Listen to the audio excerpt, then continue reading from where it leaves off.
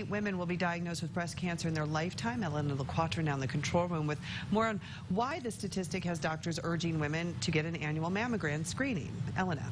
Jill, I'll also be sharing a story about one local woman who says that her mammogram screening saved her life.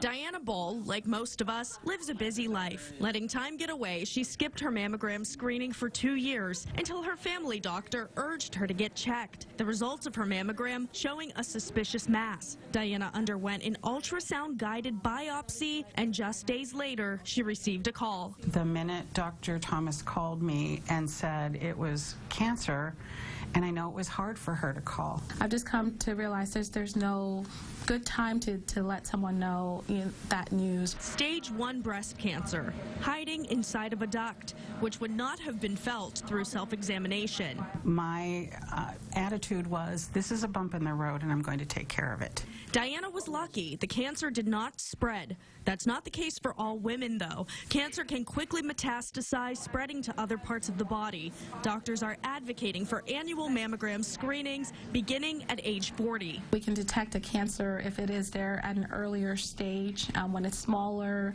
um, and a less invasive treatment can be performed. And since the risk of breast cancer increases with age, no age is too old to be checked. Diana underwent 10 rounds of radiation, completing her treatment just a couple of weeks ago.